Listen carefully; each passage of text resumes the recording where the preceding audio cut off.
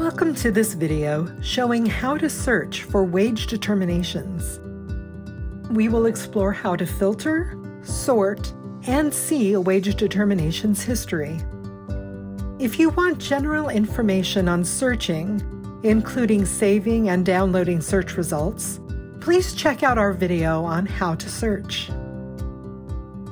Let's start from the Wage Determinations page, which you can access from the home page of SAM.gov. This page features a search bar where you can enter a wage determination number if you already know it. You can also enter partial wage determination numbers for DBAs. Let's say you want to view a construction DBA for the state of Illinois for 2021. Enter the state abbreviation, IL, then 2021. You will get search results that include IL 2021. For SCA wage determinations or collective bargaining agreements, you will need the whole wage determination number in order to search. If you don't know the number of the wage determination you need, use the links next to the search bar. Choosing either public building or works or service contracts will take you to the advanced search for wage determinations. Let's choose public building or works. By making that selection, we have pre-filtered to the construction DBA subdomain of wage determinations we need to activate any other filter now to see results. In the Construction DBA option, you can filter by state or county or independent city by DBA construction type or publish date. As you enter your filter criteria, the search results will update.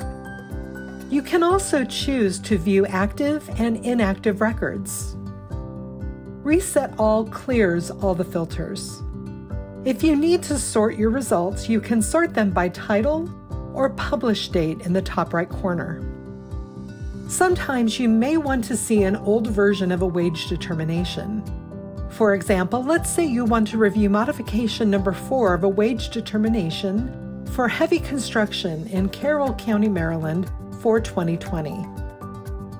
Because DBA wage determinations are numbered by year, you'll need to include inactive records in your search. Once you have found the wage determination, select it. The current modification number displayed is 9, but we want to find an earlier version. To find the previous modification, select the History link in the menu. There are links there to all the versions of that wage determination back to its original issuance.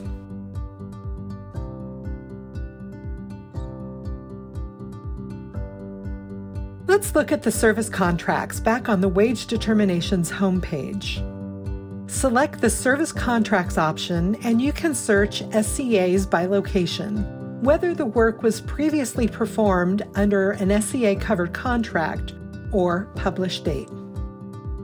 You can also search collective bargaining agreements from the advanced search page. You can locate CBAs by location or publish date. Once you have set all your filters, you can then save your search just like any other search in SAM.gov. Remember, you must be signed in in order to save a search. Also, if you are signed in, you can choose to follow a specific wage determination.